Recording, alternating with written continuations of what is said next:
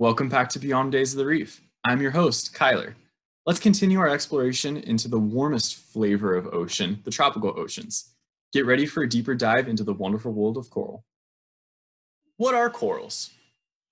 Are they animals? Plants? Maybe a little bit of both?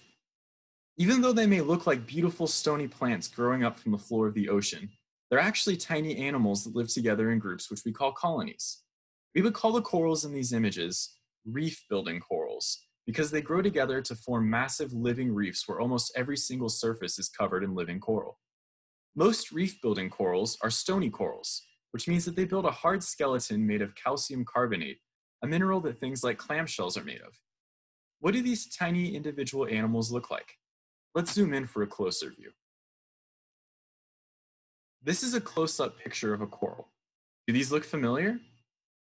Each of these little animals may look like an anemone, but they're actually called polyps. Polyps are the little animals that grow together in a colony to form corals. Polyps look and function just like a sea anemone. They have a mouth in the middle of their tentacles. What does an individual polyp look like? Just like this. There are the tentacles on top, a mouth in the middle, and only have one cavity inside their body, which is their stomach. The part labeled the basal plate at the bottom is their stony skeleton. You can see that the polyps are embedded in this.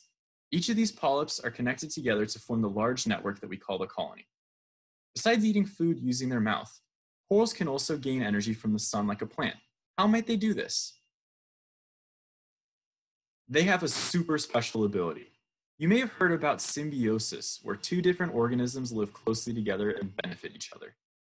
Corals have a symbiosis with algae called zooxanthellae inside their bodies. You can see the algae as the green blobs that are on these coral polyps on the left. The individual algae cells are on the right. These algae are like tiny little plants. They perform photosynthesis and capture the energy from the sun. They give this energy to the corals. In return, the corals provide protection and nutrients for the algae. Now that we've discovered what corals are and how they function, let's explore the ways in which coral colonies can grow and where they can be found. Click on today's next episode of Beyond Days of the Reef to learn more.